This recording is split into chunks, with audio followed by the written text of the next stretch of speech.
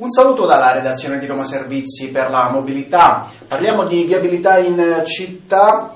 Oggi dalle 10 alle 16 in centro manifestazione degli agricoltori a Piazza Bocca della Verità, possibili chiusure al traffico e deviazioni per 11 linee di bus. Sempre oggi nel pomeriggio, ancora in centro, a partire dalle 14 è in programma un corteo tra Largo Corrado Ricci, via Cavour, via Merulana e piazza Vittorio. Saranno possibili deviazioni per 14 linee di eh, bus.